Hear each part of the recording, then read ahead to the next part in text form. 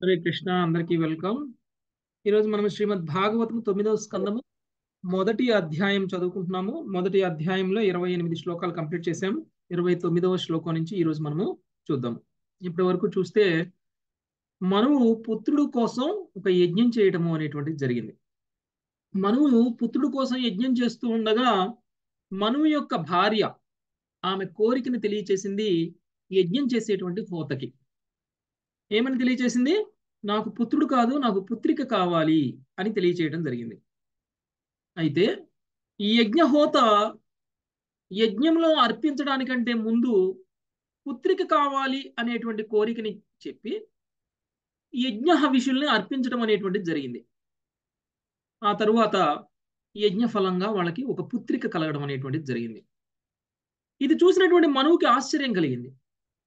అదేంటి నేను పుత్రుణ్ణి కోరుకొని యజ్ఞం చేస్తే పుత్రిక కలిగింది ఏమిటి? ఏమైనా యజ్ఞ హోత? మంత్రాలను తప్పుగా పలికారా? పుత్రుడు కావాలి అనే కోరికని పుత్రిక కావాలి అనే కోరికలా చదివారా? అందుకనే యజ్ఞం అలా సక్సెస్ అవ్వకుండా ఈ విధంగా విఫలమైపోయిందా అని అనుకున్నారు మను. వెంటనే తన గురువు అయినటువంటి వశిష్ఠుడి దగ్గరికి వెళ్ళి మీ ఆధ్వర్యంలో జరుగుతున్నటువంటి ఈ యొక్క యజ్ఞము ఏ విధంగా ఫలించకుండా ఉంది? ఏ విధంగా పుత్రుడు కోరుకొని చేసినటువంటి యజ్ఞంలో పుత్రిక ఎలా కలిగింది? అది కూడా మీ ఆధ్వర్యంలో చేయబడినటువంటి యజ్ఞం. కాబట్టి ఇది నేను నమ్మలేకున్నాను అనేటువంటి విషయాన్ని చెప్పారు. అప్పుడు వశిష్ఠుడు జరిగిన వృత్తాంతం ఏంటో అర్థం చేసుకున్నారు. చేసుకొని ఇక్కడ హోత పుత్రిక కోసం యజ్ఞం చేయడం అనేటువంటి జరిగింది కాబట్టి పుత్రిక కలిగింది అనేటువంటి విషయాన్ని చెప్పారు. అసంతృప్తులైనటువంటి మనువుని సంతృప్తి పరచడం కోసం వశిష్ఠుడు తనకున్నటువంటి శక్తితోటి పుత్రుణ్ణి పుత్రికని పుత్రుడుగా మార్చేస్తారు. అప్పటికే పుత్రిక పేరు ఇలా. ఇలా అనేటువంటి పుత్రుణ్ణి పుత్రికగా మార్చడము అనేటువంటిది జరిగింది. సారీ పుత్రికని పుత్రుడుగా మార్చడం అనేటువంటిది జరిగింది. సో అలా పుత్రుడుగా మార్చబడిన తరువాత శుద్ధ్యుమ్న అనేటువంటి మహారాజుగా ఆయన శుద్ధ్యుమ్నుడు ఆయన పేరు. పుత్రుడుగా మారిన తర్వాత ఆయన శుద్ధ్యుమ్నుడు అయ్యారు. అయితే శుద్ధ్యుమ్నుడు పెద్దవాడయ్యాడు. ఒకసారి తన స్నేహితులందరితో కలిసి గుర్రం మీద ఇలావృత వర్షానికి వెళ్ళారు. ఇలావృత వర్షంలో ఆరాధ్య దైవము శివుడు. అక్కడ పార్వతీదేవి కోరిక ఏమిటంటే ఇలావృత వర్షంలో కేవలం శివుడు మాత్రమే పురుషుడుగా ఉండాలి కేవలం శివుడు మాత్రమే పూజించబడాలి. అందుకని ఇలావృత వర్షంలోకి ఎవరు వెళ్ళినా కానీ అందరూ కూడా స్త్రీలుగా మారిపోతారు. అయితే ఈ సుద్యుమ్నుడు అక్కడికి వెళ్ళడం అనేటువంటిది జరిగింది కాబట్టి అక్కడికి వెళ్ళినటువంటి తన గుర్రంతో సహా ఆయన కూడా స్త్రీగా మారిపోయారు. సో ఇక్కడ వరకు కూడా మనము ఇది స్త్రీ రూపాన్ని పొందడాన్ని వాళ్ళ వాళ్ళను వాళ్ళు చూసుకొని ఏమిటి నేను పురుషుడు కాస్త స్త్రీ అయిపోయాను వాళ్ళని వాళ్ళే చూసుకుని వాళ్ళే ఆశ్చర్యపోవడం అనేటువంటిది జరిగింది. ఇదంతా విన్నారు పరీక్ష మహారాజు సుఖదేవ గోస్వామి నుంచి. వినగానే పరీక్ష మహారాజు ప్రశ్నించాడు. అసలు ఏంది ఆ ప్రదేశానికి ఉన్నటువంటి ప్రత్యేకత ఏమిటి? ఇలావృత వర్షంలో ఆ వనా వనానికి ఉన్నటువంటి ప్రత్యేకత ఏమిటి? ఆ వనం యొక్క ప్రభావంతో ఒక పురుషుడు కాస్త స్త్రీ అయిపోతున్నారు కదా? అది ఎందుకు అలా జరిగింది? ఆ ప్రదేశానికి ఉన్నటువంటి ప్రభావం ఏమిటి? అంత ప్రభావపూరితంగా ఎలా ఉంది ఆ ప్రదేశము అనేటువంటిది ప్రశ్నించారు పరీక్ష మహారాజు. అప్పుడు సుఖదేవ గోస్వామి మాట్లాడుతున్నారు. హరే కృష్ణ ప్రభుజీ. సారీ ప్రభుజీ చిన్న డౌట్ హోతా అన్న ఋత్వికులన్న ఒక్కలేనా ప్రభుజీ రిత్విక్లు అంటే కూడా యజ్ఞం చేయించేవాళ్ళు. వాళ్ళందరూ కలిసి రిత్విక్లు అంటారు. అక్కడ యాక్చువల్గా యజ్ఞం చేయడానికి కనీసం నలుగురు కావాలి. ఓకే ఒకళ్ళు యజ్ఞ అగ్నిని వెలిగించేవాళ్ళు. రెండు యజ్ఞంలో మంత్రాలను చదివేవాళ్ళు. మూడు అక్కడ ఉన్నటువంటి ఏర్పాట్లన్నీ చేసేవాళ్ళు. నాలుగు ఏవో అర్పించేవాళ్ళు ఇంకేవో ఉంటారు. ఓకే అయితే ఈ విధంగా నలుగు నాలుగు రకాల బ్రాహ్మణులు అక్కడ ఉంటారు. ఈ నలుగురిని కలిపి రిత్వికులు అంటారు. ఓకే? అందులో ఒకళ్ళు హోత. హోత అంటే ఆఫర్ చేసే ఆయన. అక్కడ యజ్ఞం చేసే ఆయన. మంత్రాలు సమర్పించే. ఆయన. ఎస్ అందులో యజ్ఞంలో గీ వేస్తారు కదా? నెయ్యి వేస్తారు కదా? ఆయన హోత. అంటే వాళ్ళే మంత్రాలు చదువుతారు కదా ప్రభుజీ? ఆయనే చదవాలని ఏం లేదు. మంత్రం చదివే ఆయన కూడా వేరే ఉండొచ్చు. అయితే ఈ నలుగురిని కలిపి రిత్విక్లు అంటారు. రిత్విక్లు అంటే యజ్ఞం చేయించేవాళ్ళు. ఓకే? యజ్ఞం చేసేవాళ్ళు. చేయించేవాళ్ళు కాదు చేసేవాళ్ళు. ఓకే? సో ఇప్పుడు సుఖదేవ గోస్వామి మాట్లాడుతున్నారు. పరీక్ష మహారాజు అడిగినటువంటి ప్రశ్నకి సమాధానం. కృష్ణకుమారి మాతది శ్రీ సుఖ ఉవాచ. శ్రీ సుఖవాచ एकदा गिरिशं द्रष्टुं ऋषयस्तत्रताम्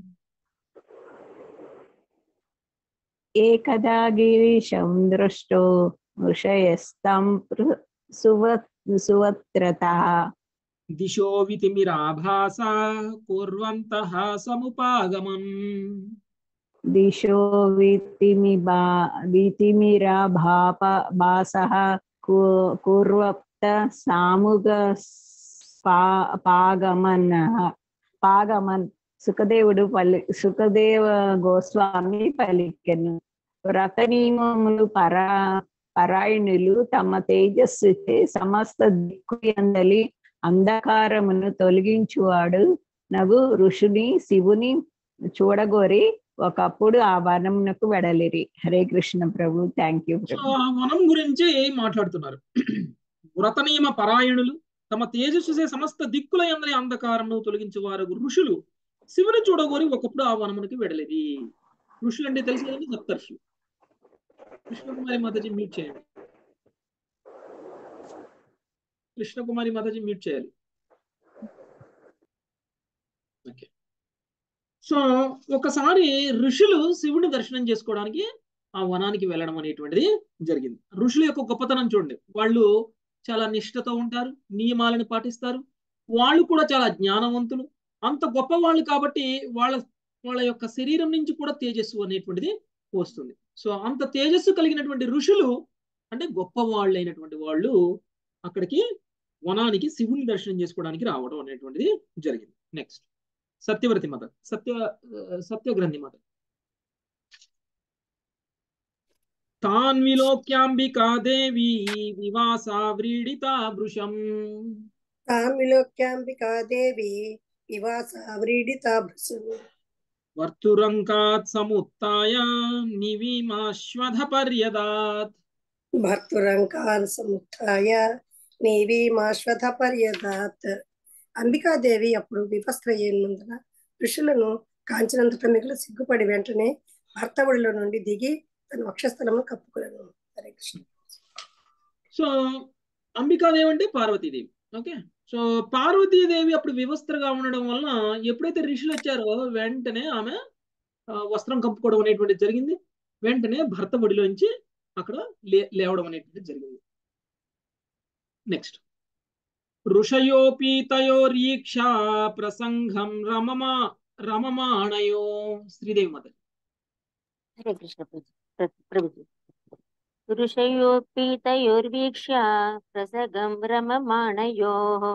నివృత్త ప్రయయుస్తస్మాన్ ప్రయయుస్తస్మాన్ నరనారాయణాశ్రమం శివపార్వతులు రతి క్రీడారతులై ఉండుటను గాంచినంతటా ఆ ఋషులు అచటి నుండి వెనుతిరిగి నరనారాయణాశ్రమంలోకి వెళ్ళిరి. థ్యాంక్ యూ ప్రభుజీ సో శివుడు పార్వతి ఏకాంతమైనటువంటి ప్రదేశంలో ఉన్నారు కాబట్టి ఆ ప్రదేశంలో వాళ్ళు ఉండకూడదు అని తెలుసుకొని వెంటనే నరనారాయణుల దగ్గరికి వెళ్ళడం అనేటువంటిది జరిగింది అక్కడి నుంచి. నెక్స్ట్ ముప్పై రెండవది హైమవతి మాత. హరే అదిదం భగవానాహ ప్రియాయ ప్రియకామ్యయా. అదితం భగవానాహ ప్రియాయ ప్రియకామ్యయా. స్థానం యః ప్రవిశేదేతత్ స వై యోషిద్భవేదితి అనం యః ప్రవిశేదేతత్ సవై యోషిత్ భవేదితి అంతటి శివుడు తన పత్నికి ప్రసన్నతను కలిగింపకోరి ఈ స్థానమున ప్రవేశించిన ఏ పురుషుడైనను శీఘ్రమే స్త్రీ రూపమును పొందగలడు అని పలికెను. హరే కృష్ణ ప్రభు దండాలు ప్రణామం. సో శివుడు తన పత్నికి ప్రసన్నతను కలిగించడం కోసం అంటే ఇప్పుడు జరిగినటువంటి అంతరాయం పురుషుడు ఎంటర్ అవడం వల్ల జరిగింది కాబట్టి అలాంటి పురుషులు ఎవరైనా సరే ఈ ప్రదేశంలోకి వస్తే స్త్రీలుగా మారిపోవాలి అనేటువంటి విషయాన్ని శివుడు చెప్పడం అనేటువంటిది జరిగింది. నెక్స్ట్ జయలక్ష్మి మాత. తత ఊర్ధ్వం వనం తద్వై పురుష వర్జయంతి. హరే కృష్ణ ప్రభుజీ తథ ఊర్ధ్వం మనం తద్వై పురుష వర్ణయాంతి. వర్జయంతి. వర్చయంతి సాచానుచర సంయుక్త విచచారావనాద్వనం. సాచారు సాచానుచర సంయుక్త విచ విచచార వనాద్ వనం అప్పటి నుండి ఏ పురుషుడు ఆ వనము ప్రవేశింపలేదు. కాని ఇప్పుడు సూర్యమన్నుడు శ్రీతత్వమును పొందినవాడై తన అను అనుయూయులతో గూడి ప్రతి వనమును తిరగసాగాను. భగవద్గీత ఇరవై రెండు రెండు పాయింట్ ఇరవై రెండు అందు ఇట్లు చెప్పబడింది. వాసాంసి జీ జీర్ణాని యదామీహ విహయ నవాని గృహ గృహ గృహంతి నరో నరోపరాణి తదా శరీరాణి విహ మిహాయ జీర్ణాని అన్యాని సంయా సంయాతి నవాని దేహి మనుజుడు. పాత వస్త్రములను త్యజించి నూతన వస్త్రములను ధరించు రీతి ఆత్మ జీ జీర్ణమై దేహములను త్యజించి నూతన దేహములను పొందుచున్నది. ఈ దేహము ఒక వస్త్రము వంటిది. ఈ విషయము ఇచ్చట నిరూపితమైనది. శుద్ధం శుద్ధ్యముడు అతని అనుచరులు పురుష రూపమును ఉండిరి. అనగా వారి ఆత్మలు పురుష దేహం అనేది వస్త్రములతో కప్పబడి ఉండేరు. కానీ ఇప్పుడు వారు స్త్రీ రూపమును పొందిరి. అనగా వారి వస్త్రములు మారినవి కానీ ఆత్మ మాత్రం మార్పు రహితము. ఆధునిక వైద్య శాస్త్రం సహాయముచే పురుషును స్త్రీగాను స్త్రీని పురుషునిగాను మార్చవచ్చును అని చెప్పబడినది. అయినను ఆత్మకు దేహంతో ఎటువంటి సంబంధం లేదు. దేహము ఈ జన్మలోనైనా మారవచ్చును లేదా రాబోయే జన్మలోనైనా మారవచ్చును.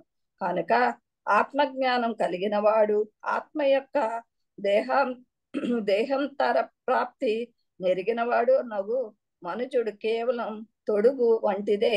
అయినా దేహమునకు ఎక్కువ ప్రాధాన్యము ఇవ్వడు.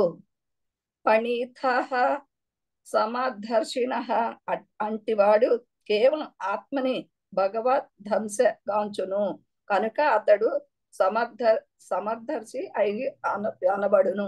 హరే కృష్ణ ప్రభు. ఓకే సో స్త్రీ రూపాన్ని పొందినటువంటి సుద్యుమ్నుడు తన మిత్రులతో కలిసి ఆ వనమంతా కూడా తిరగడం అనేటువంటిది జరిగింది. అయితే ప్రపాదుల వారు మనకి భాష్యంలో ఏం చెప్తున్నారు అని అంటే స్త్రీ రూపము పురుష రూపము అనేటువంటిది కేవలం శరీరానికే కానీ ఆత్మకి కాదు ఆత్మకి శరీరానికి సంబంధం లేదు. ఈ లింగభేదం అనేటువంటిది కేవలం శరీరానికే ఉంది కానీ ఆత్మ అనేటువంటి దానికి లింగభేదం అనేటువంటిది ఉండదు అనేటువంటి విషయాన్ని చెప్తున్నారు. అంటే ఈ శరీరంలో మార్పులు అనేటువంటివి కలుగుతుంటుందండి ఇప్పుడు పురుషుడిగా పుట్టినటువంటి ఒక ఒక జీవుడు ఇప్పుడు ఒక జీవుడు పురుష శరీరంలో ఉన్నప్పుడు ఈ పురుష శరీరాన్ని వదిలిపెట్టినటువంటి జీవుడు మళ్ళీ నెక్స్ట్ జన్మలో స్త్రీ శరీరం పొందకూడదని ఏం లేదు. అంటే ఈ జన్మలో పురుషుడు వచ్చే జన్మలో స్త్రీ. పై వచ్చే జన్మలో ఇంకేదన్నా. సో శరీరము అనేటువంటిది పైన ఉన్నటువంటి తొడుగే. స్త్రీ పురుష సం తేడా అనేటువంటిది కేవలం శరీరానికి ఉన్నదే కానీ ఆత్మకి ఉన్నది కాదు అనేటువంటి విషయాన్ని చెప్తున్నారు. ఇది ఆత్మజ్ఞానం కలిగినటువంటి వ్యక్తులు పండిత సమదర్శన అనేటువంటి విషయం మనకు తెలియదు. ఎవరికైతే ఆత్మజ్ఞానం ఉంటుందో వాళ్ళు పండితులు అలాంటి పండితులు అందరినీ భగవంతుడి యొక్క అంశగానే చూస్తారు. అందరినీ భగవంతుడి యొక్క అంశగానే చూస్తారు తప్ప స్త్రీయా పురుషుడా లేకపోతే పశువ లేకపోతే మనిష ఇలాంటి తేడాలతో చూడరు. ఓకే? సో అది ఇక్కడ కూడా నిరూపితమైనది అనేటువంటి విషయాన్ని చెప్తున్నారు. అంటే స్త్రీ పురుష తేడా అంటే స్త్రీని పురుషుడిగా పురుషుని స్త్రీగా మార్చేటువంటి వైద్య ప్రక్రియ కూడా ఇప్పుడు ఉంది. ఓకే? సో అది సైన్స్ డెవలప్ అయిన తర్వాతనే జరిగింది అని మనం అనుకుంటున్నాం. ఓకే? సైన్స్ కూడా లేనప్పుడు కూడా స్త్రీ పురుషులుగా పురుషులు స్త్రీలుగా మారిపోయారు. వశిష్ఠుడే తనకున్నటువంటి శక్తితోటి స్త్రీని పురుషుడుగా మార్చాడు. శివుడు తనకున్నటువంటి మంత్రబలంతో తనకున్నటువంటి సిద్ధులతోటి పురుషులందరినీ స్త్రీలుగా మార్చేస్తున్నారు. సో ఇది ఆ మనకి శాస్త్రంలోనే ఐదు వేల సంవత్సరాల క్రితం రాసినటువంటి శ్రీమద్ భాగవతంలోనే తెలియజేయడం అనేటువంటిది జరిగింది. కాబట్టి అడ్వాన్స్ అయిన సైన్స్కి మించినటువంటిదే శాస్త్రం అనేటువంటిది మనకి ఇక్కడ అర్థం కావాలి. నెక్స్ట్ ముప్పై నాలుగు. శిరీష మాతాజీ. హరే కృష్ణ ప్రభుజీ. అతతామాశ్రమాభ్యాసే చరంతీం ప్రమదోత్తమాం అతతామాశ్రమాభ్యాసే చరంతిం ప్రమదోత్తమాం స్త్రీభిः పరివృతాం వీక్షా చకమే భగవాన్ బుధः స్త్రీభిః పరివృతాం వీక్ష చకమే భగవాన్ బుధః సుధమ్యుడు సుద్యుమ్నుడు ఆ, సుద్యుమ్నుడు ప్రమదోత్తమగా మగ మారి ఇతర స్త్రీలతో పరివృత్తుడై ఉండెను చంద్రుని స్తుడగు బుధుడు తన వివాహం నివాసము చెంత ఆ సుందరీమణి సంచరించుటను దాంచినంతట వెంటనే ఆమెను కామి కామించెను. హరే కృష్ణ ప్రభు ఓకే. సో ఇలా అనేటువంటి అమ్మాయి శుద్ధిమ్నుడు అనేటువంటి పురుషుడిగా మారితే శుద్ధిమ్నుడు అనేటువంటి పురుషుడు ఇప్పుడు ప్రముదోత్తమ అనేటువంటి స్త్రీగా మారిపోయింది. ఓకే. పుట్టినప్పుడు ఇలా స్త్రీయే. తర్వాత వశిష్ఠుడు తన శక్తితోటి ఆ ఇలని శుద్ధ్యుమ్నుడిగా మారిస్తే ఇప్పుడు శుద్ధ్యుమ్నుడు ఇలావృత వర్షంలోకి వెళ్ళడం వల్ల ప్రమదోత్తమగా మారిపోయారు అయితే ఈ ప్రమదోత్తమ మిగిలినటువంటి తన స్త్రీ ఫ్రెండ్స్ తోటి కలిసి అక్కడ అంతా తిరుగుతూ ఉండగా చంద్రుడి పుత్రుడైనటువంటి బుధుడు చంద్రుడి పుత్రుడైనటువంటి బుధుడు ఆ స్త్రీ మీద కోరికను పెంచుకున్నారు. అంటే బుధుడు ప్రముదోత్తమని ప్రేమించడం అనేటువంటిది జరిగింది. నెక్స్ట్ అనుపమ మాతాజీ. సాపితం చకమే సాపితం చకమే శుభ్రు సోమరాజా సుతం పతిం. సాపితం చకమే శుభ్రు సోమరాజా సుతం పతిం. సతస్యాం జనయామాస పూర పురూరవ పురూరవ సమాత్మజం. సతస్యం జనయామాస పురూరవ సమాత్మజం. ఆ సుందరిమణి కూడా చంద్రసుతుడగు బుధుని తన పతిగా పొందగోరెను. ఆ విధముగా బుధుడు ఆమె యందు పురూరపు పురూరవుడు అను పుత్రుని బడసెను ఓకే. సో ఆ సుందరీముడు కూడా చంద్రుడి సుతులైన బుధు బుధు బుద్ధు బుధుని తన పతిగా పొందగోరడు. అంటే ఒకళ్ళనొకళ్ళు ప్రేమించుకున్నారు. ఆ తర్వాత ఈ ఈ ప్రమదోత్తమకి బుధుడికి మధ్య పుట్టినటువంటి పుత్రుడు పురూరవుడు. పురూరవుడు అనేటువంటి పుత్రుడిని వాళ్ళిద్దరు కూడా పొందడం అనేటువంటిది జరిగింది. నెక్స్ట్ లక్ష్మీ ఆత్మకూరు మాత హరే ఏవం ఏవం స్త్రీత్వం అనుప్రాప్తః శుద్ధ్యుమ్నో మానవో నృపా ఏవం స్త్రీత్వం అనుప్రాప్తః శుద్ధం న్యో మానవో నృపః తస్మారస కులాచార్యం వశిష్టం ఇది సుశ్రుమా తస్మారం స కులాచారం వశిష్టమితి సుశ్రూమా ఓకే మను- మనుతముడగు మనోత్తం మనుత్తముడగు ప్రద్యుమ్నుడు ఈ విధముగా స్త్రీత్వమును పొందినవాడై తన కురుకులమునకు వశిష్ఠుని స్మరించినని విశ్వాసనీయులు ద్వారా నేను వింటిని. హరే కృష్ణ ప్రభు సో ఇలా స్త్రీ తత్వాన్ని పొందిన తరువాత సుద్యుమ్నుడు వశిష్ఠుడు గురించి ఆయన ఆలోచించడం అనేటువంటిది జరిగింది. ఇది సుఖదేవ గోస్వామి నేను ప్రామాణికంగా విన్నాను విశ్వసనీయమైనటువంటి వ్యక్తుల ద్వారా విన్నాను అనేటువంటి విషయాన్ని చెప్తున్నారు. నెక్స్ట్ ముప్పై ఏడు రామారావు ప్రభుజ. సతస్యతాం దశాం దృష్ట్వా కృపయా వృషపీడిత సతస్యతాం దశాం దృష్ట్యా కృపయా వృషపీడితः సుద్యుమ్నస్యాశయన్ పుంస్త్వం ఉపాధావత శంకరం. సుజుమ్నశయనం పుంస్వం పాదభావత శంకరం సుజ్యముని దుఃఖకర స్థితిని గాంచినంతలా వ్యశిష్ఠుడు మిగుల కినుడై అతనికి తిరిగి పురుషత్వమును కలుగజేయగోరి శంకరుని ఆరాధింపసాగను. హరే కృష్ణ ప్రభుజీ. ఓకే. సో సుద్యుమ్నుడి యొక్క పరిస్థితి వశిష్ఠుడికి కూడా బాధను కలిగించింది. ఎందుకంటే సుద్యుమ్నుడు పురుషుడు. ఆయన కాస్త స్త్రీగా మారిపోయారు. స్త్రీగా మారిపోయినటువంటి ఆయన తన బాధని వశిష్ఠుడితో వ్యక్తం చేయడం అనేటువంటిది జరిగింది. అయితే వశిష్ఠుడు కూడా చాలా బాధతోటి నీకు ఎలా అయినా నేను పురుషత్వాన్ని కలిగిస్తాను స్త్రీకి అని చెప్పేసి ఆయన శివుణ్ణి ఆరాధించడం మొదలుపెట్టారు వశిష్ఠుడు. నెక్స్ట్ ఇరవై ఎనిమిది ఇరవై తొమ్మిది. సునీత మాతాజీ. हरे कृष्ण प्रभु जी स भगवान् ऋषये प्रियमाव प्रियमावहन्। स भगवान् ऋषये प्रियमावहन्। स्वाञ्चवाचां स्वाञ्चवाचं कुर्वन्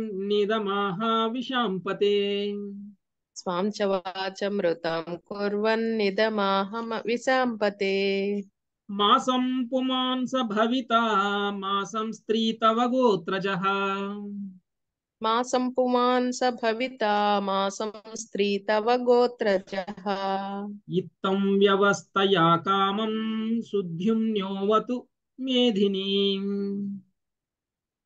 ఇత్తం వ్యవస్థయా కామం సుద్యుమ్నోవతు మేదినీం భావం పరీక్షిన్ మహ పరీక్షిన్ నరేంద్ర వశిష్ఠుని ఎడ శివుడు మిగుల ప్రసన్నుడయ్యను. అందువల్ల అతని ప్రీతి కొరకు మరియు పార్వతికి తానిచ్చిన మాటను నిలబెట్టుకొనుటకు ఆ మహాదేవుడు మునితో నీ శిష్యుడకు సుద్యుమ్నుడు ఒక మాసమున పురుషునిగను ఒక మాసమున స్త్రీగను ఉండి యథేచ్ఛగా ధరణిని పాలింపగలడు అని పలికెను. భాష్యము. ఈ సందర్భమున గోత్రజహ అను పదము ప్రధానమైనది. సాధారణంగా బ్రాహ్మణులు రెండు వంశముల వారికి గురువులుగా వర్తింతురు. అందులో ఒకటి గురు పరంపర కాగా ఇంకొకటి శుక్ర సంబంధమైన వంశ పరంపర. ఇరు వంశస్థులను ఒకే గోత్రమునకు చెందిన వారై ఎందురు బ్రాహ్మణులు క్షత్రియులే గాక వైశ్యులు కూడా ఒకే ఋషికి సంబంధించిన గోత్రీకులగుట ఒక్కొక్కప్పుడు వైదిక పద్ధతి ఎందు మనకు గోచరించును. గోత్రము వంశము ఒకటే కనుక శిష్యులకు వంశ పరంపరలో ఉన్న వారులకు భేదం ఉండదు ఈ పద్ధతి భారతీయుల్లో ఇంకను కొనసాగుతున్నది. ముఖ్యంగా వివాహ సందర్భమున ఈ గోత్రములను పరిశీలించుట పరిపాటి. ఇచ్చట గోత్రజహ అనే పదము ఒకే వంశమున పుట్టిన వారిని వారు శిష్యులైనను లేదా కుటుంబ సభ్యుల కుటుంబం వారైనను సూచించును. హరే కృష్ణ ప్రభుజీ. ఓకే. సో పరీక్ష మహారాజును ఉద్దేశించి మాట్లాడుతున్నారు. వశిష్ఠుడు చేసినటువంటి ప్రార్థనకి శివుడు వశిష్ఠుడు కోరిక తీర్చాలి అని అనుకున్నారు. అనుకొని ఆయన పార్వతి మాట కూడా పార్వతికి నేను ఇచ్చినటువంటి మాట కూడా అసత్యం అవ్వకూడదు. అలా అని వశిష్ఠుడికి మళ్ళీ ఇప్పుడు నేను మాట ఇస్తే మరి వశిష్ఠుడికి మాట ఇవ్వకుండా ఉండకూడదు. అంటే ఇప్పుడు వశిష్ఠుడి ఎడ ప్రసన్నమైనటువంటి వ్యక్తి శుద్ధ్యుమ్నుడు తిరుగ్గా పురుషుడిగా మార్చేశారు అనుకోండి మరి పార్వతికి మాట ఇచ్చారు కదా ఆయన? పార్వతికి ఇచ్చిన మాట విఫలమైపోతుంది. మరి అలా చేయలేదనుకోండి వశిష్ఠుడు చేసినటువంటి తపస్సుకి వశిష్ఠుడు చేసినటువంటి పూజకి ప్రార్థనకి ఆయన విలువ ఇవ్వనట్లు అవుతుంది సో ఇద్దరిని బ్యాలెన్స్ చేయడం కోసం పార్వతి మాట సత్యంగానే ఉండాలి. వశిష్ఠుడికి కూడా ఆ వశిష్ఠుడి కూడా ప్రసన్నమైన ప్రసన్నమై ఆయనకు కూడా వరం ఇవ్వాలి కాబట్టి ఆయన ఏం చెప్పారంటే ఒక నెల స్త్రీగా ఒక నెల పురుషుడుగా. ఒక నెల స్త్రీగా ఒక నెల పురుషుడుగా ఉంటారు. అంతేకాదు ఆయన రాజ్యం మొత్తం కూడా చాలా చక్కగా పాలించగలుగుతారు సుద్యుమ్నుడు అనేటువంటి వరాన్ని ఇవ్వడం అనేటువంటిది జరిగింది. అయితే ఇక్కడ గోత్రం గురించి మాట్లాడారు. గోత్రం అంటే వంశము అనేటువంటి చెప్తుంది. యాక్చువల్గా గోత్రం మనందరికి ఎక్కడి నుంచి వస్తుంది అని అంటే మనం అందరం కూడా ఒక వంశము బ్రహ్మ నుంచి వచ్చినటువంటి వాళ్ళమే మొత్తం. అందరూ బ్రహ్మ నుంచి వచ్చినటువంటి వాళ్ళు. అందరికీ కూడా ముత్తాత బ్రహ్మ. అయితే బ్రహ్మ ద్వారా ఋషులు ఋషులు వచ్చారు. సప్తర్షులు. అయితే ఈ సప్తర్షులు ఒక్కొక్క ఋషికి ఒక్కొక్క గోత్రం.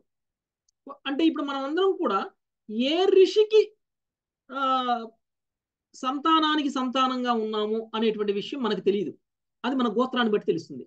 ఒక్కొక్క గోత్రమును బట్టి వాళ్ళు ఫలానా ఋషికి సంబంధించినటువంటి వంశము. ఇంకొక గోత్రం వాళ్ళు వేరే ఋషికి వంశము అనేటువంటి విషయం తెలుస్తుంది. ఎందుకంటే వీళ్ళందరూ కూడా ప్రజాపతులు. ఋషులందరూ కూడా ప్రజాపతులు. ఈ ప్రజాపతులు ప్రజా సృష్టి కోసం బ్రహ్మ సృష్టించారు వాళ్ళని. మరి ప్రజా సృష్టి చేసినప్పుడు ఎంతో మంది జనం పుట్టారు ఎంతో మంది ప్రజలందరూ పుట్టారు. వాళ్ళందరూ కూడా కొంతమంది ప్రజలందరూ ఒక ఋషికి ఇంకొక కొంతమంది ప్రజలందరూ ఇంకొక ఋషికి కనెక్ట్ అయి ఉన్నారు. వంశం. ఆ ఋషి యొక్క వంశంలో ఉన్నారు.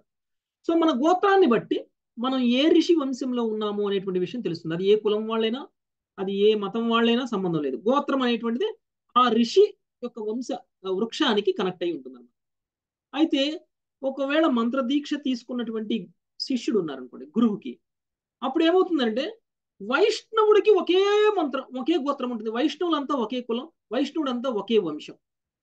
ఓకే? సో వైష్ణవుల గోత్రం వచ్చేసి అచ్యుత గోత్రం.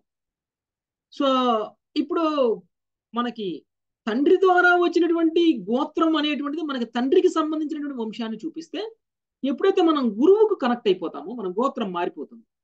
మన గోత్రం అచ్యుత గోత్రం అయిపోతుంది. ఎందుకంటే గురువు గోత్రం అచ్యుత. ఆ గురువుకి గురువు గోత్రం కూడా అచ్యుత. సో ఆ విధంగా గురువుని పొందాము అని అంటే మనం తండ్రిని పొందాం. రెండవ తన్ రెండవసారి మనము తన్ జన్మించాము అని అర్థం. అంటే రెండవసారి జన్మించిన మనకి గురువే తండ్రి. అందుకని గురువు మనకి ఎప్పుడు మెయిల్ రాసినా కానీ మై సన్ అని రాస్తారు. అంటే ఆ నా పుత్రుడా అని రాస్తారు మనకి. సో మనల్ని అందరినీ పుత్రులుగా భావిస్తారు గురువు. మనం ఏదైనా గురువు గారికి మెయిల్ రాసామనుకోండి గురువు మనకి రిప్లై చేస్తారు అప్పుడప్పుడు. సో రిప్లై చేసినప్పుడు మనల్ని ఏమని ప్రస్తావిస్తారంటే పుత్రుడా అని ప్రస్తావిస్తారు. సో అంటే ఏంటి? మనం ఎప్పుడైతే మనం దీక్షితులం అవుతామో దీక్ష తీసుకుంటామో అప్పుడు మనం ద్విజులమైనట్లు. అంటే రెండవ జన్మ వచ్చినట్టు. అందుకని మనకి గురువు మనకి పేరు కూడా మారుస్తారు మన గోత్రం కూడా మారిపోతుంది. ఓకే? సో ఇది అంటే గురు పరంపర ద్వారా వచ్చినటువంటి గోత్రం ఒకటైతే రక్త సంబంధంతో వచ్చినటువంటి గోత్రం అనేటువంటిది ఇంకొకటి ఉంటుంది. Okay next. నలభైవ శ్లోకం. राधाराणी माता जी। आचार्यानुग्रहत्कामं लब्ध्वा पुंस्त्वं व्यवस्थया।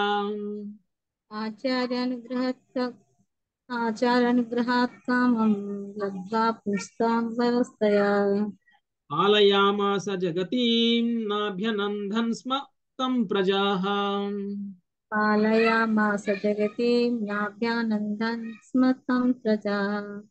ఈ విధముగా ఆచార్యుని అనుగ్రహమును పడసి శివుని వచనానుసారము సుద్యముడు ప్రతి రెండవ మాసమున పుంస్వమును వడయచు రాజ్యమును పాలించను.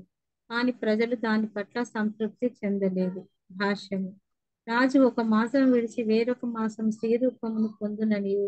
అందువలన తన పాలనా బాధ్యతను పూర్తిగా నిర్వహింపజాలడని ప్రజలు తెలుసుకొని అసంతృప్తులేరు హరే కృష్ణ. సో తన గురువు అయినటువంటి తన గురువు అయినటువంటి వశిష్ఠుడి యొక్క అనుగ్రహంతో శివుడు ఇచ్చినటువంటి వాక్కు ప్రకారంగా సుద్యుమ్నుడు ప్రతి రెండు మాసాలకు ఒకసారి రాజ్యాన్ని పాలించడం మొదలుపెట్టారు. అంటే పురుషుడుగా ఉన్నప్పుడు. ఒక మాసం స్త్రీ ఒక మాసం పురుషుడు. పురుషుడిగా ఉన్నప్పుడు మళ్ళీ రాజ్యాన్ని పాలిస్తారు. మళ్ళీ స్త్రీగా ఉన్నప్పుడు పాలించరు. సో ఈ విధంగా రాజ్యాన్ని పాలిస్తూ ఉన్నప్పుడు ప్రజలందరికీ తెలిసిపోయింది. మా రాజు ఒక నెల స్త్రీ అయిపోతారు ఒక నెల పురుషుడు అయిపోతారు పురుషుడిగా ఉన్నప్పుడు మాత్రమే మనకు కనపడతారు. స్త్రీగా ఉన్నప్పుడు పాలన చెయ్యరు అనేటువంటి విషయాన్ని తెలుసుకొని వాళ్ళలో అసంతృప్తి అనేటువంటిది మొదలైంది. నెక్స్ట్ సూర్యకుమారి మత తస్యోత్కలో భయో రాజన్ విమలశ్చాత్రయ సుతాః. హరే కృష్ణ ప్రభుజీ. తస్యోత్కలో గయో రాజన్ విమలఛాత్రయ సుతః. దక్షిణాపద రాజానో బభూపూర్ధర్మవత్సలా. దక్షిణాపద రాజానో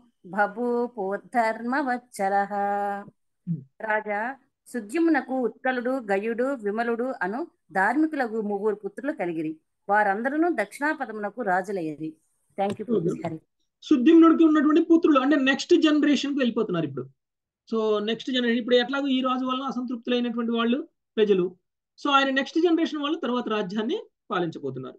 సో సుద్యుమ్నుడికి ఉన్నటువంటి ముగ్గురు పుత్రులు ఉత్కలుడు గయుడు విమలుడు అనేటువంటి వాళ్ళు చాలా ధార్మికులు. వారు కూడా దక్షిణాపదమున రాజులైరి. దక్షిణాపదానికి రాజులయ్యారు. నెక్స్ట్ నలభై రెండు. రాజ్యలక్ష్మి మాతాజీ. తత పరిణతే కాలే ప్రతిష్టానపతి ప్రభు. పరిణతే కాలే ప్రతిష్టాన ప్రతి ప్రభు. పురూరవస ఉత్సృజ్యం పురూరవస ఉత్సృజ్య గాం పుత్రాయ గతో వనం.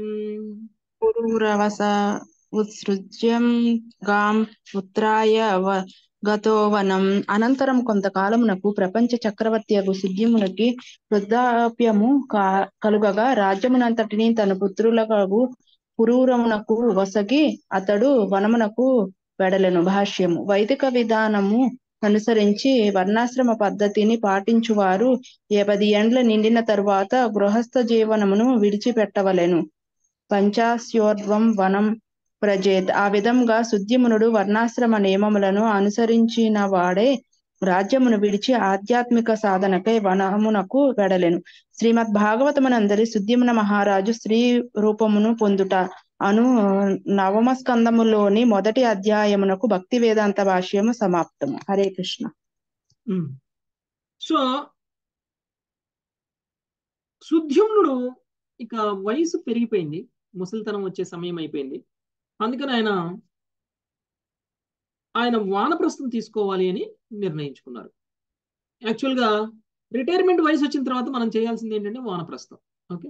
అంటే యాభై ఏళ్ళు దాటిపోయిన తర్వాత ఏ వ్యక్తి అయినా సరే వానప్రస్థం తీసుకోవడానికి ప్రయత్నం చేయాలి. అంటే ఆధ్యాత్మిక సాధన చేయాలి అని అర్థం. వానప్రస్థం తీసుకోవడం అంటే ఏంటంటే ఇంకా మనకి భౌతిక కార్యకలాపాల నుంచి విముక్తిని పొంది కేవలం ఆధ్యాత్మికంగా మిగిలినటువంటి శేష జీవితాన్ని గలిపితే కనీసంగా శరీరాన్ని వదిలేసిన వదిలేసే సమయానికి మనం ఆధ్యాత్మిక పురోగతిని పొంది చివరికి శరీరాన్ని వదిలేసే సమయంలో కనీసంగా కృష్ణుడైనా తలుచుకుంటాము. ఒకవేళ అప్పటి నుంచి కూడా ఆధ్యాత్మిక సాధన చేయకపోతే ఇక మనంత పాపాత్ములు ఇంకొకళ్ళు ఉండరు. సో అందుకనే సుద్యుమ్నుడు ఇక భౌతికమైనటువంటి కార్యకలాపాలను వదిలేయాలి అని అనుకున్నారు. అందుకని తన కొడుకు ఎవరండి? పురూరవుడు ప్రభుజీ. పురూరవుడు. మీరు ఇందాక ముగ్గురే పుట్టారన్నారు. ఉత్కలుడు గయుడు విలువ ముందు ముందు ముందు ప్రభు అంతకు ముందు. చంద్రుడికి పుట్టిన బుధుడికి పుట్టారు కదా ప్రభు. బుధుడికి పుట్టినవాడు. బుధుడు బుధుడికి ఎస్ ప్రభు. బుధుడికి అమ్మాయి కాకుండా. అంటే ప్రమదోత్తమకి కలిగినటువంటి పుత్రుడు. ప్రమదోత్తమ బుధుడికి ఇద్దరికి సుద్యుమ్నుడు పుత్రుడు కాదు ప్రమదోత్తమ పుత్రుడు. ఓకే? ఓకే సో ప్రమదోత్తమ పుత్రుడు సుద్యుమ్నుడు పుత్రుడు ఒకటే. ఎందుకంటే ప్రమదోత్తమ సుద్యుమ్నుడు వేరు వేరు కాదు కాబట్టి. ఓకే సో ఆయన ఆధ్యాత్మిక సాధనకి వెళ్ళడం కోసం పురూరవుడికి ప్రపంచ చక్రవర్తి స్థానాన్ని ఇచ్చడం అనేటువంటిది జరిగింది.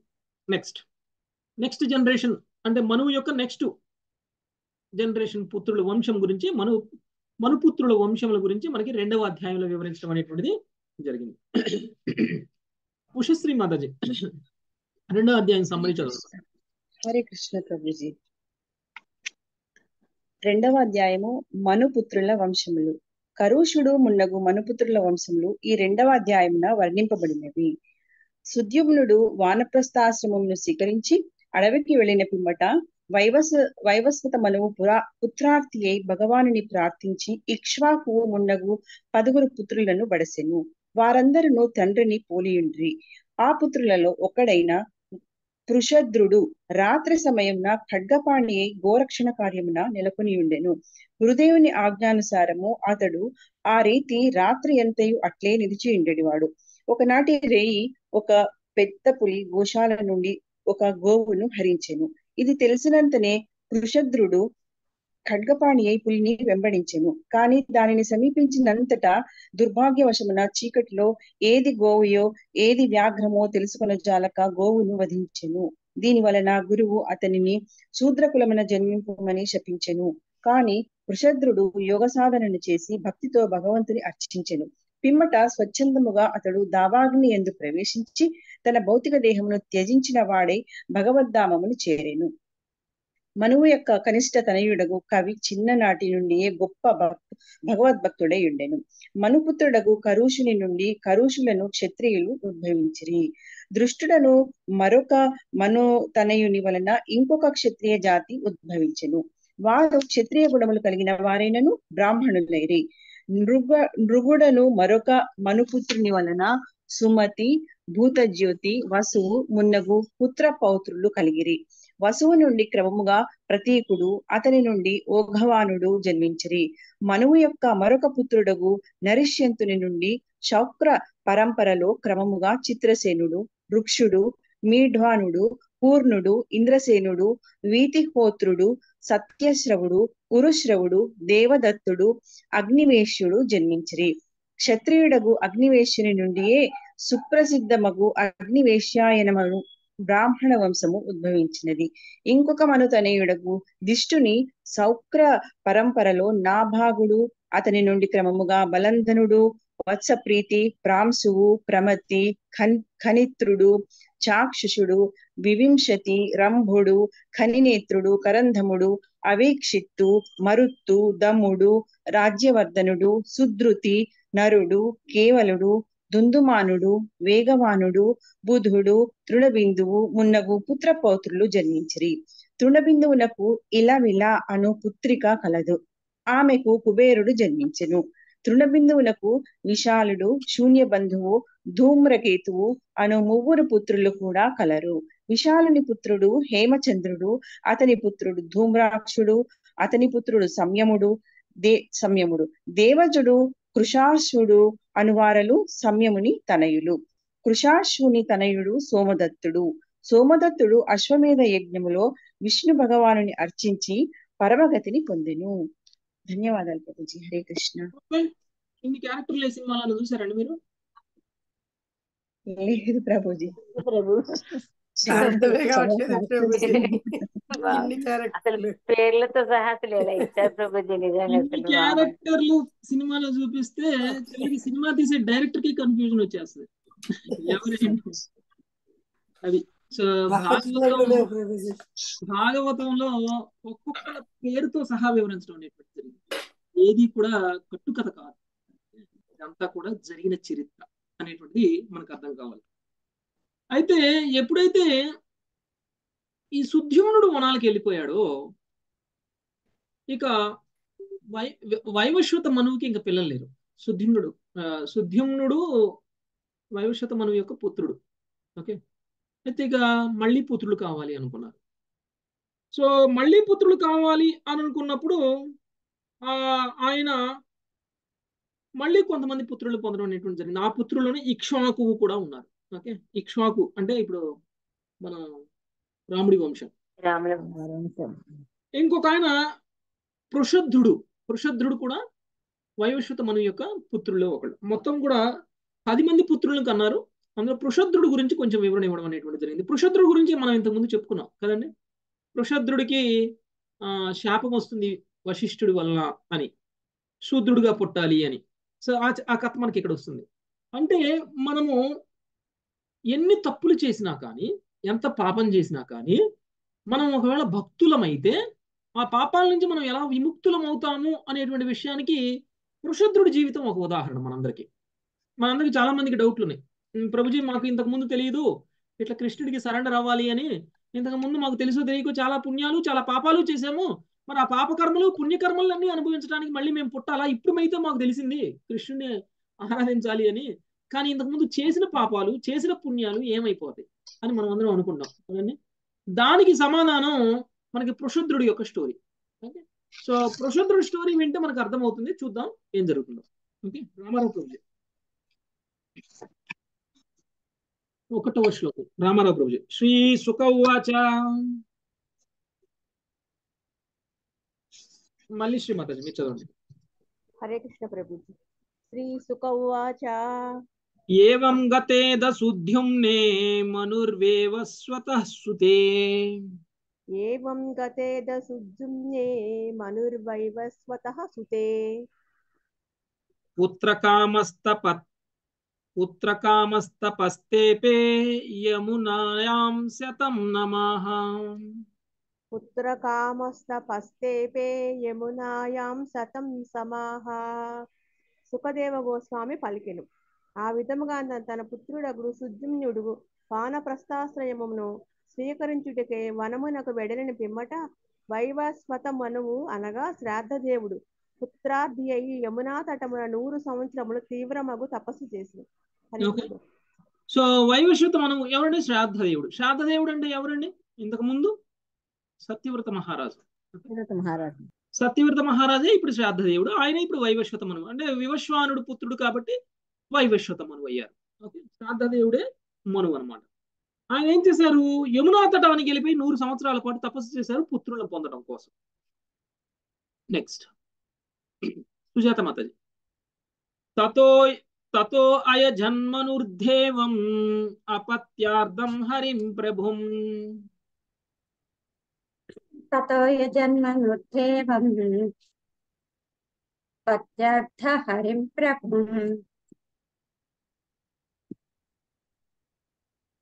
ఇక్ష్వాకు పూర్వజాన్ పుత్రాన్ లేభే స్వసదృశాన్ దశ इक्ष्वाकूर्वजान् पुत्रान् लेखे स्वसद् దృశాన్ దశాం పిమ్మట మనువగు రాజ్యదేవుడు పుత్రవాంఛ కారణముగా దేవదేవుని అర్చించి తనతో సమానులకు పదుగురు పుత్రులను వడసెను వారిలో ఇక్ష్వాకుడు జ్యేష్ఠుడు హరే కృష్ణ ప్రభుజీ ఆ తర్వాత శ్రాద్ధదేవుడు పది మంది పిల్లల్ని పొందడం అనేటువంటి జరిగింది తన తపస్సు ఫలితంగా. ఓకే? భగవంతుడి కోసం ఆయన చేసినటువంటి తపస్సు ఫలితంగా పది మంది పుత్రులను పొందారు. ఆ పది మంది పుత్రుల్లో జ్యేష్ఠుడు ఇక్ష్వాకు. నెక్స్ట్. అన్నపూర్ణ మాతాజీ. హరే కృష్ణ. వృషద్రస్తు మనో పుత్రో గోపాలో గురుణా వృషద్రస్తు మనోః పుత్రో గోపాలో గురుణా కృతః పాలయామాస గాయత్తో రాత్ర్యాం వీరస నవ్రత పాలయామాస గాయత్తో రాత్ర్యాం వీరాసనవ్రతః ఆ పుత్రులలో వృషధ్రువుడు అన్నవాడు గోర్ గుర్వాజ్ఞ మేరకు గోరక్షకునిగా నియం నియుక్తుడయ్యను. ఖడ్గపాణి అయి అతడు రాత్రి అంతయు గోవులకు రక్షణము నొసగుటకై నిలిచియుండెడివాడు భాష్యముపై శ్రీల ప్రభా శ్రీల ప్రభుపాదికి వీరాసనుడైనవాడు ఖడ్గమును చేపట్టి గోవుల రక్షణము కొరకు రేయి అంతయు నిలబడి ఉండెడి వ్రతమును స్వీకరించును. వృషద్రుడు ఆ రీతిగా నెలకొనుటను బట్టి అతని నుండి వంశము రాలేదని తెలుసుకొనవచ్చును. వృషద్రుడు చేపట్టిన ఈ వ్రతమును బట్టి గోరక్షణ ఎంతటి ముఖ్యమైనదో మనము గమనింపవచ్చును. రాత్రి యందును క్రూర మృగముల నుండి గోవులను రక్షించడి ఈ వ్రతమును ఎవడో ఒక క్షత్రియ తనయుడు చేపట్టును. అయినచో గోవులను కళేబ కబేళాలకు పంపుటను వచ్చి ఏమి చెప్పగలము? అది మానవ సమాజములో పరమ పాప కార్యమై ఉన్నది. హరే కృష్ణ ప్రభు ప్రభు సో వశిష్ఠుడికి ఉన్నటువంటి గోవులను రక్షించేటువంటి బాధ్యత ఎవరో ఒక క్షత్రుడు తీసుకోవాలి. అయితే ఈ మనువుకు కలిగినటువంటి పది మంది పుత్రుల్లో ఒక పుత్రుడు పురద్ర పుషద్రుడు ఈ పృషద్రుణ్ణి గోరక్షణ చేయడానికి నియమించడం అనేటువంటిది జరిగింది. అంటే ఇది ఈయన ఒక జీవితాంతం కూడా వశిష్ఠుడికి ఉన్నటువంటి గోవులని కాపాడేటువంటి వ్రతాన్ని తీసుకున్నారు. అదొక తపస్సు లాగా అంటే తర్వాత జనరేషన్ అనేటువంటిది పృషద్రుడి ద్వారా రాలేదు అని అర్థం. పృషుద్రుడు తర్వాత వివాహం చేసుకోలేదు. పృషుద్రుడు ద్వారా నెక్స్ట్ జనరేషన్ అనేటువంటిది ఏర్పడలేదు. సో పృషుద్రుడు కేవలం గురువు సేవకి అంకితం అయిపోయారు ఓకే నెక్స్ట్ హైమవతి మాత ఏకదా ప్రావిశద్గోష్టం సాధులో నిశివర్షతి. ఏకదా ప్రాస ప్రావిశద్గోష్టం శార్దూలో నిశివర్షతి. శయనా గావ ఉత్థాయ బీతస్తా బభ్రముర్వతే యనాగావ ఉత్థాయ బీతస్థా బభ్ర ముర్వత్రే ఒక రాత్రి వర్షం కురియుచుండగా వ్యాఘ్రం ఒకటి కోశాలలో ప్రవేశించెను. పరుండియున్న జీవులన్నీ ఆ పులిని గాంచినంతర భయముతో లేచి అటు నిటు తిరగసాగినవి. హరే కృష్ణ ప్రభు దండవత్ ప్రణామం. సో ఈయన రాత్రిపూట గోవులని కాపాడుతున్నారు. రాత్రిపూట గోవులను మాట్లాడుతూ కాపాడుతున్నారు అంటే ఒక చేతిలో ఒక ఖడ్గాన్ని పట్టుకొని గోవుల్ని కాపాడడానికి సిద్ధంగా కూర్చున్నారు. అయితే ఒకసారి వ్యాఘ్రం. వ్యాఘ్రం అంటే ఏంటంటే పులి. ఓకే? ఒకసారి పులి ఈ గోశాలకు ప్రవేశించడం అనేటువంటి జరిగింది. ఆ సమయంలో రాత్రి వర్షం బాగా కురుస్తుంది. అప్పుడు పులి వచ్చినటువంటి దాన్ని చూసి ఆ గోవులన్నీ కూడా భయంతో లేచి అటు ఇటు తిరుగుతూ ఉన్నాయి ఓకే? నెక్స్ట్. సత్యవతి మాతాజీ. एकां जग्राह बलवां सा चुक्रोशा भयातुरा। एकां जग्राह बलवां सा चुक्रोशा भयातुरा।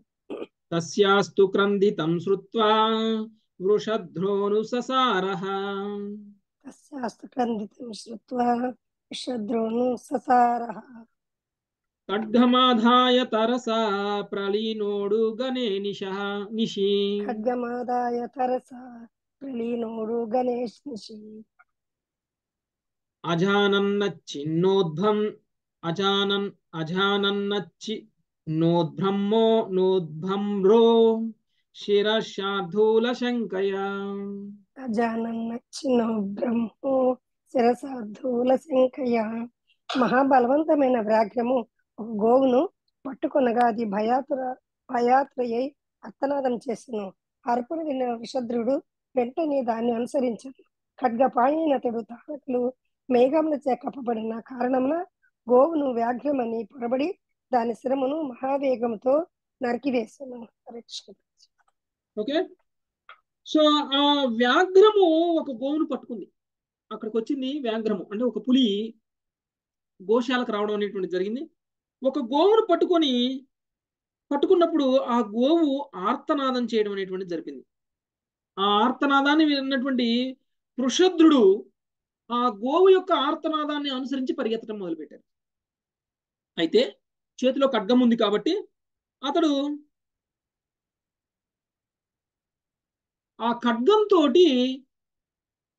వ్యాఘ్రము అనుకొని గోవును చంపేయడం జరిగింది. ఎందుకంటే అది రాత్రి సమయం చీకటిగా ఉంది ఏమీ కనిపించట్లేదు. శబ్దాన్ని అనుసరించి ఆయన పరిగెత్తాడు. వ్యాఘ్రాన్ని చంపాలి అని అనుకున్నారు. కానీ వ్యాఘ్రాన్ని చంపాను అని అనుకొని గోవునే చంపేశారనమాట ఓకే? నెక్స్ట్. ఏడవ శ్లోకం. జయలక్ష్మి మాతాజీ. వ్యాఘ్రోపీ వృక్న శ్రవణో నిస్త్రింశాగ్రాహతస్తసః వ్యాఘ్రోపీ వృక్ష శ్రవణో నిస్త్రాగ్రాహస్తతః నిశ్చక్రామ భృశం భీతో రక్తం పది సమూత్సృజన్ నిశక్రామ వృషం భీతో రక్తం పది సముత్సజన్ అనువాదం ఖడ్గగ్ర ఖడ్గగ్ర భాగముచే చెవి తెగిన తెగిన కారణమున వ్యాస్ వ్యాఘ్రము కూడా మిక్కిలి భయముతో రక్తము కారుచుండగా అచ్చట నుండి ఫలాను అయ్యను. హరే కృష్ణ. ఎప్పుడైతే ఈ ఖడ్గాన్ని ఇలా వేసి ఆయన గోవు యొక్క మెడను నరికేశారు ఓకే? అయితే అలా నరుకుతున్నప్పుడు యొక్క ఖడ్గము యొక్క అగ్రభాగము వ్యాఘ్రము యొక్క చెవికి తగిలింది. ఆ చెవికి తగలడం వల్ల చెవి కట్టయిపోయి వ్యాఘ్రానికి పూర్తిగా రక్తం కారిపోయింది అంటే ఇక్కడ గోవు అయితే చనిపోయింది కానీ వ్యాఘ్రానికి రక్త రక్తం అనేటువంటిది బాగా కారిపోతుంది. ఇంకా వ్యాఘ్రం కూడా భయపడి అక్కడి నుంచి పారిపోయింది. Okay next. రామారావు ప్రభుజీ లక్ష్మీ ఆత్మకూరు మాతాజీ హరే కృష్ణ ప్రభుజీ मन्यमानो हतं व्याघ्रं वृषद्रः परवीरः। मन्यमानो हतं व्याघ्रं वृषप्रदा वीर परवीरः। अद्राक्षीत् स्वहतं ब्रभ्रुं व्युष्टायां निशिदुःखितः। अत्राक्षत् स्वहतं ब्र ब्रभ्रुं दुष्टमायं निसि दुःखितः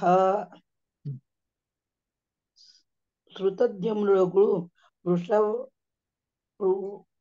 కృపద్యుడు తాను రాత్రి ఎందు వధించినది వ్యాఘ్రమని తలచినప్పటికీ పొద్దున చూడగా గోవు అనే తాను వధించుట వధించుటను గమనించి దుఃఖితుడయ్యను. హరే కృష్ణ శత్రువులను చాలా ఈజీగా చంపగలిగినటువంటి పృషధ్రుడు నేను వ్యాఘ్రాన్ని చంపేశాను అని సంతోషంలో రాత్రి అంతా ఉన్నారు. పొద్దున్నే లేచి చూసేసరికి చచ్చింది వ్యాఘ్రం కాదు చనిపోయింది. గోవు అని తెలుసుకున్నారు. ఇది తెలుసుకున్న అయ్యో నేను గోవును వధించానా అని బాధపడడం అనేటువంటిది జరిగింది. నెక్స్ట్ రాధారాణి మాతాజీ తంశాప కులాచార్య కృతాఘసం కృతాగసమకామత తం శశాప కులాచార్య కృతాగాసామకామత నక్షత్రబంధు శూద్రస్త్వం కర్మణ భవితామునా. నక్షత్రబంధు శూద్రస్త్వం కర్మణ భవితామునాః. ప్రశుద్ధుడు తెలియక పాపమునర్చులను కులగురువగు వశిష్ఠుడు అతనిని రాబోవు జన్మమున నీవు క్షత్రియుడవుగాక గోహత్య కారణమున శూద్రుడు కమ్ము అని శపించను. భాష్యము ఇచట వశిష్ఠుడు తమో గుణము నుండి విడివడినట్లుగా గోచరించుతున్నది కులగురు అనగా ఆచార్యుడు. అతడు పురుషుదుని అపరాధమును తేలికగా తీసుకొనవలసి ఉండను. అతనిని శూద్రుడగవుమని శపించి ఉండెను. శిష్యుణ్ణి శపించుట ద్వారా గాక ఏదో ఒక ప్రాయచిత్తం ద్వారా పాపరహితుని చేయుట కులగురు కర్తవ్యం కానీ వశిష్ఠుడు దీనికి విపరీతంగా ఉండొచ్చును కనుకనే శ్రీల విశ్వనాథ చక్రవర్తి ఠాకూరులు అతన్ని దుర్మతి అనగా బుద్ధిహీనుడు అని అనేది హరే కృష్ణ. ఒక ఆచార్య స్థానంలో ఉన్నటువంటి వ్యక్తి తన శిష్యుణ్ణి శిక్షించడానికంటే ఎక్కువగా ప్రాయశ్చిత్త మార్గాన్ని తెలియచేసి నువ్వు చేసినటువంటి పాపానికి ప్రాయశ్చిత్తం చేసుకో అనేటువంటి మార్గాన్ని చూపించాలి. ఒక ఆచార్యుడైనటువంటి వాడు. ఒక గురువు ఒక శిష్యుడు కనుక తప్పు చేస్తే గురువు ఏం చెయ్యాలి అని అంటే నువ్వు చేసినటువంటి తప్పు చేస్తే చేసావులే అని సమర్థించకుండగా అలా అని చేసిన తప్పుకి శిక్షించకుండగా నువ్వు ఏం ప్రాయశ్చిత్తం చేసుకుంటే నీ యొక్క పాపం పోతుంది అనేటువంటి మార్గాన్ని చూపించాలి గురువు. కానీ వశిష్ఠుడు అలా చేయలేదు. వశిష్ఠుడు శపించేశాడు. యాక్చువల్గా పృషద్రుడు గొప్ప క్షత్రియుడు. ఆయనలో తమో గుణం లేదు. ఆయన ఒక శూద్రుడు కాదు. గోవును చంపాడు. కానీ గోవుని పొరపాటున చంపాడు. తెలియక చంపాడు. వ్యాఘ్రాన్ని చంపాను అనుకునేటువంటి భావంలో గోవును చంపడం అనేటువంటి జరిగింది. గోవుని ఎవరు చంపుతారు? శూద్రులు మాత్రమే చంపుతారు. తమోగుణంలో ఉన్నటువంటి వాళ్ళు చంపుతారు. రజోగుణంలో సత్వగుణంలో ఉన్నటువంటి వాళ్ళు గోవుని చంపి తినరు. ఓకే? లేకపోతే గోవుని చంపరు. గోవుని చంపడానికి కూడా అడ్డుకుంటారు ఎదిరిస్తారు. కానీ ఎవరైతే తమోగుణంలో ఉంటారో అంటే ఎవరైతే శూద్రుడో వాళ్ళు మాత్రమే గోవులు చంపుతారు. వాళ్ళు మాత్రమే గోవు మాంసాన్ని కబేళాలకు పంపిస్తూ ఉంటారు. అయితే ఇది అర్థం చేసుకోవాలి. ఈయనలో ఉన్నటువంటి గుణం ఏమిటి అని తెలుసుకొని సరే నువ్వు ఏ గుణంలో ఉన్నా సరే నువ్వు ఒక క్షత్రియ లక్షణాలని ప్రదర్శించినప్పటికీ నీ చేతిలో పొరపాటున గోవు చనిపోయింది కాబట్టి నువ్వు పలానా ప్రాయశ్చిత్త కర్మ చేస్తే నీ పాపం పోతుంది అనేటువంటి విషయాన్ని కనుక చెప్పినట్లయితే బాగుండేది. అలా చెప్పలేదు కాబట్టి విశ్వనాథ చక్రవర్తి ఠాకూర్లు తాను చేసినటువంటి అనువాదంలో ఈయన పూర్తిగా బుద్ధివంతుడు కాదు అనేటువంటి విషయాన్ని తెలియచేశారు వశిష్ఠుణ్ణి. సో ఏం చేశారు? నువ్వు క్షత్రియుడు క్షత్రియుడు కాదు నువ్వు నువ్వు శూద్రుడివే కాబట్టి నువ్వు మరుసటి జన్మలో నువ్వు శూద్రుడు అయిపోవాలి అని చెప్పేశారు. ఓకే? మరుసటి జన్మలో నువ్వు శూద్రుడు అయిపోవాలి అని చెప్పించడం అనేటువంటిది జరిగింది. నెక్స్ట్ సునీత మాతాజీ. ఏం శప్తస్తు గురుణా ప్రత్యగృహ్ణాత్ కృతాంజలి. ఏవం శబ్దస్తు గురునా ప్రత్యగృహ్ణాత్ కృతాంజలి. ఆధారయద్వ్రతం వీరా ఊర్ధ్వరేతా ముని ప్రియం ఆధారయత్ వ్రతం వీరా ఊర్ధ్వరేతా ముని ప్రియం భావము. ఆ విధంగా గురువు చేసే పితృడైన వీర వీర పృషద్రుడు ఆ శాపమును చేతులు జోడ్చి స్వీకరించెను. తదుపరి ఇంద్రియ నిగ్రహం కలవాడే అతడు ముని సమ్మతమగు బ్రహ్మచర్య వ్రతమును పాటించెను. హరే కృష్ణ ప్రభుజీ. సో పృషద్రుడు చాలా గొప్పవాడు కాబట్టి పృషద్రుడు గురువు ఇచ్చినటువంటి శాపాన్ని స్వీకరించారు. ఎదురు చెప్పలేదు. ఆర్గ్యుమెంట్ కూడా చేయలేదు. అయ్యో నేను తప్పు చేయలేదు. పొరపాటున జరిగింది. నాకు ఇంత శిక్ష ఇవ్వకండి అని కూడా అనలేదు. మీరు ఇచ్చిన శిక్షను నేను స్వీకరిస్తాను అని చెప్పేసి స్వీకరించేశారు. ఇంద్రియ నిగ్రహంతో ఆయన బ్రహ్మచర్య వ్రతాన్ని పాటించడం మొదలుపెట్టేశారు. ఓకే? నెక్స్ట్ పదకొండు పదమూడు. రాజ్యలక్ష్మి మాత. वासुदेवे भगवती सर्वात्मनि परे मले। वासुदेवे भगवती सर्वात्मनि परे मले। एकान्तित्वं गतो भक्त्या सर्वभूता सुहृत् समः एकांतित्वं गतो भूत्वा सर्वभूता सुहृत् समः विमुक्त संग शांतात्मा सम्यताक्षो परिग्रहः मुक्तसङ्गशान्तात्मा संयताक्षोपरिग्रहः यदृच्छयोपपन्नेन कल्पयन् वृत्तिमात्मनः यदृच्छयोपपन्नेन कल्पयन् वृत्तिमात्मनः आत्मन्यात्मानं नादाय ज्ञानतृप्तः समाहितः। आत्मन्यात्मना माधाय ज्ञानतृप्तः समाहितः। आत्मन्यात्मानमाधाय ज्ञानतृप्तः समाहितः। आत्मन्यात्मानमाधाय ज्ञानतृप्ता समाहितः। विचचार महीमेतां जडान्ध्राभदिराकृतिः। विचचार महीते महीमेतां जडनान्दबन्दिराकृतिः। पिमट వృషధ్వదుడు అన్ని బాధ్యతల నుండి విడివడిన వాడే శాంతచిత్తుడు ఇంద్రియ నిగ్రహపరుడు అయ్యెను. భౌతిక పరిస్థితులచే ప్రభావితుడు గాక దేహపోషణార్థము భగవదనుగ్రహముచే ఏది లభించిన దానినే సంతృప్తుడై ఎల్లరి సమభావము కలిగిన వాడే అతడు దివ్య పరమాత్ముడు భౌతిక కల్మష దూరుడు పరమ పురుషుడు నగు వాసుదేవుని ఎందే పూర్ణ ధ్యానమును నిలిపెను. ఆ విధముగా అతడు తన మనస్సును దేవదేవుని పైననే నిలిపి విశుద్ధ జ్ఞానముచే పూర్ణ సంతుష్టుడే ఏకాంత భక్తిని వడసి లౌకిక కర్మల యందు నిస్పృహుడై బది బదిరుడు మూగవాడు గుడ్డివాణి వలె జగతమంతయును అంతటను పర్యటింపసాగెను. Hmm. ఓకే ఋషభదేవుడిలా చేసేసారు ఈయన కూడా. ఓకే భక్తి యోగంలో ఉన్నారు. ఋషభదేవుడుగా ఏ విధంగా అయితే ఉన్నారో భక్తి యోగంలో ఉన్నారు ఈయన. ఏం చేశారు? వాసుదేవుణ్ణి దేవాది దేవుడిగా భావించి వాసుదేవుడి చింతనలోనే ఉన్నారు ఆయన పూర్తిగా. సమభావంతో ఉన్నారు. అందరినీ ఒకేలా చూస్తాం. విశుద్ధ జ్ఞాన సంపూర్ణుడైనటువంటి ఆయన ఏకాంత భక్తిని చేశారు. ఏకాంత భక్తి అంటే వృషభదేవుడు ఏకాంత భక్తి చేశారు. కదండి? సో ఆ విధంగా ఈయన కూడా జగమంతా తిరిగారు. ఏకాంత భక్తి మూగవాడిలా గుడ్డివాడిలా బధిరుడు అంటే నిస్పృహుడై బధిరుడు మూగవాడు గుడ్డివాని వలె. ఓకే? సో ఈ విధంగా ఆయన ప్రపంచమంతా పర్యటిస్తూ భగవంతుడి యొక్క అనుగ్రహంతో ఏం దొరికితే అది తింటూ తిరుగుతూ ఉన్నారు. బ్రహ్మచర్యాన్ని పాటించారు ఇంద్రియ నిగ్రహం చేసుకున్నారు. సో పూర్ణ ధ్యానాన్ని కేవలం వాసుదేవుడి మీదనే నిలబడం అనేటువంటిది జరిగింది. అంటే ఈ విధంగా తను భక్తి యోగంలో ఉన్నారు. నెక్స్ట్ ఉషశ్రీ ఉషశ్రీమతి. ఏవం వృత్తో వనం గత్వా దృష్ట్వా ధావాగ్నిముత్తితం. ఏవం వృత్తో వనం గత్వా దృష్ట్వా దావాగ్నిముత్థితం తేనోపయుక్త కరుణో బ్రహ్మ ప్రాప పరం ముని తేనోపయుక్త కరుణో బ్రహ్మ ప్రాప పరం ముని ప్రభువార్ల వారి భావము. ఈ స్వభావము కలవాడై వృషద్రుడు మహాముని అయ్యెను. అరణ్యమున ప్రవేశిన ప్రవేశించినంతటా అతడు దావాగ్ని గాంచిన వాడై దాని యందు తన దేహమును దగ్ధమునర్చి పరమగతిని పొందెను. ఓకే చదవండి మధుజ మాట వినిపించట్లేదు. భగవద్గీత నాలుగు పాయింట్ తొమ్మిది ఎనిమిది శ్రీకృష్ణ భగవానుడు ఇట్లు పలికిన. జన్మ కర్మ చ మే దివ్యం ఏవం ఏవేత్తి తత్వత త్యక్వా దేహం పునర్జన్మ నైతి మామేతి సో అర్జున ఓ అర్జున నా జన్మము కర్మములు దివ్యత్వమును ఎరిగిన వాడు శరీర త్యాగము వెంబడ ఈ భౌతిక జగమున జన్మింపుక నా శాశ్వతమైనటువంటి ధామమునే పొందగలడు. తాను చేసిన కర్మ వలన పృషద్రుడు శూద్ర జన్మమును ఎత్తగలిసి ఉండెను.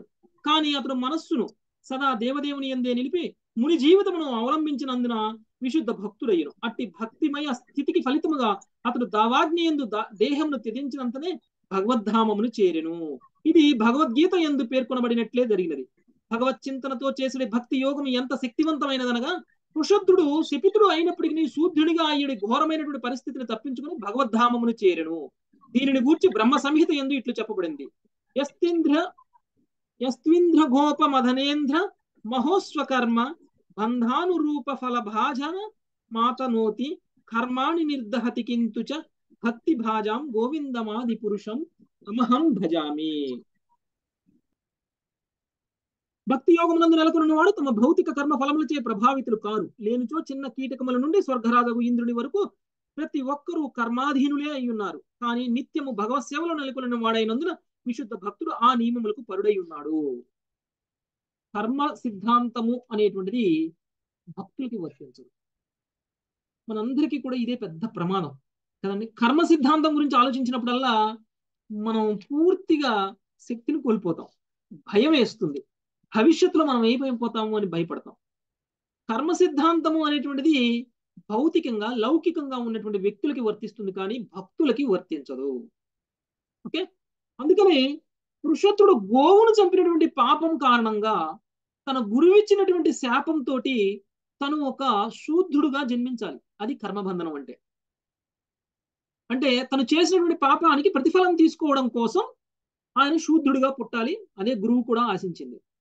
కానీ తను భక్తి యోగంలో ఉండడం వలన పూర్తిగా భక్తి యోగంలో ఉండడం వలన తను శూద్ర జన్మను పొందలేదు. అంటే చేసిన పాపం ఏడిపోయింది? గురువిచ్చిన శాపం ఏడిపోయింది? గురువిచ్చిన శాపం కాదు కదా ఏ దేవీ దేవత ఇచ్చిన శాపం కూడా పనిచేయదు. ఒకవేళ మనం గనక వాసుదేవునికి భక్తులం అయిపోతే. అందుకనే మనందరికీ జాతక చక్రాలు చూపించుకుంటాం శని ఇక్కడున్నాడు బుధుడు ఇక్కడున్నాడు గురుడు ఇక్కడున్నాడు నీకు ఈ శాంతి చేయాలి నీకు ఈ శాంతి చేయాలి నువ్వు ఈ పూజలు చేయాలి ఈ వ్రతం చెయ్యాలి ఇలాంటి యజ్ఞం చెయ్యాలి అని మన మీద ఉన్నటువంటి గ్రహాల ప్రభావాన్ని పోగొట్టుకోవడం కోసం మనం అనేక రకాలైనటువంటి యజ్ఞాలని ఫలాలని అన్ని కూడా చేయడం అనేటువంటిది మొదలుపెట్టాం. అలా చేయకుండా మనం గనక కృష్ణుడికి భక్తులం అయిపోయాం మన మీద వాటి వాటి ప్రభావం ఏమి ఉండదు. గ్రహాల ప్రభావం కూడా మన మీద ఉండదు. ఎందుకంటే గ్రహాలన్నీ కూడా కృష్ణుడి యొక్క ప్రభావంలో ఉన్నాయి కాబట్టి మనం కృష్ణుడికి భక్తులం అయినప్పుడు గ్రహాలు మనల్ని ఏం చెయ్యవు. మన జాతక చక్రం కూడా మనల్ని ఏం చేయదు జాతకం కూడా మారిపోతుంది. కృష్ణ భక్తులైనటువంటి వాడి యొక్క జాతకం కూడా మారిపోతుంది. భవిష్యత్తు కూడా మారిపోతుంది. కృష్ణుడే కాపాడతాడు. కాబట్టి ఇక్కడ ఈయన కర్మబంధనం పట్ల చూసినట్టయితే కర్మ సిద్ధాంతం ప్రకారం చూసినట్లయితే శూద్రుడు కావాలి శూద్రుడు కావాలి. కానీ ఈయన శూద్ర జన్మని ఏం పొందలేదు. భగవద్గీతలో చెప్పిన విధంగా ఎవరైతే నా భక్తులు అలాంటి భక్తుడు భవబంధాల నుంచి విముక్తిని పొంది ముక్తిని పొందుతాడు అనేటువంటి విషయాన్ని కృష్ణుడు చెప్పారు. అదేవిధంగా వృషద్ధుడు కూడా తను చేసినటువంటి కర్మకి ప్రతిఫలాన్ని అనుభవించాల్సిన అవసరం లేకుండానే తను ఒక దావాగ్నిలో ఇరుక్కుని పోయి శరీరాన్ని వదిలేసి భగవద్ధామానికి వెళ్ళిపోయాడు. ఆ దావాగ్ని కూడా భగవంతుడే ఏర్పాటు చేసినటువంటి ఒక ఇది. సో ఆ విధంగా భగవంతుడు చేసినటువంటి ఏర్పాటులో భాగంగా ఆయన ముక్తిని పొందడం అనేటువంటి జరిగింది. భక్తులకి భగవంతుడు ఆ విధంగా రక్షణ కల్పిస్తారు. ఓకే? ఇక కాపుదా మాతాజీ పద్నాలుగు శ్లోకాలు కంప్లీట్ అయ్యాయి. పురుషద్ధుడి స్టోరీ కంప్లీట్ అయిపోయింది. నెక్స్ట్ ఇక మను యొక్క పుత్రులు ఇతర పుత్రుల యొక్క వంశంలో ఎవరెవరు పుట్టారు అనేటువంటి విషయాన్ని మనము రేపు చూద్దాం థ్యాంక్ యూ వెరీ మచ్ వాంఛాకల్పతరుభ్యశ్చ కృపా సింధుభ్యేవ చ పతితానాం పావనేభ్యో వైష్ణవేభ్యో నమో హరే కృష్ణ